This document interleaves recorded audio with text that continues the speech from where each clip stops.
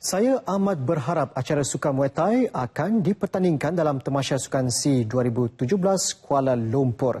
Itu merupakan hasrat besar jurulatih kebangsaan Ismail Hassan yang yakin Muay Thai mampu menghadiahkan pingat buat kontingen negara seperti mana yang dilakukan di Temasya Sukan C 2013 Myanmar.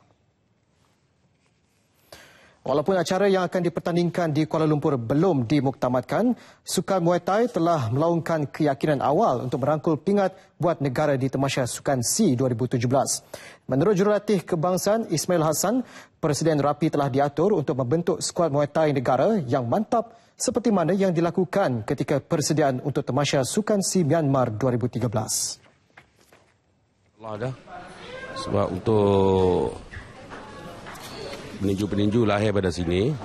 Ha, kita pilihkan yang terbaik untuk Muay Malaysia. Kita bawa kat untuk atlet dua orang kita akan pilih daripada Jasmine. Ya, kita akan melahirkan bakal-bakal atlet yang untuk wakil Malaysia lah. Ha. Di Napido, Myanmar, skuad Thai negara mempamer aksi membanggakan membawa pulang dua emas dan tiga gangsa. Pingat emas menerusi Muhammad Lokman Hakimi kategori 51 kg dan Muhammad Faizal Ramli dalam kategori 75 kg.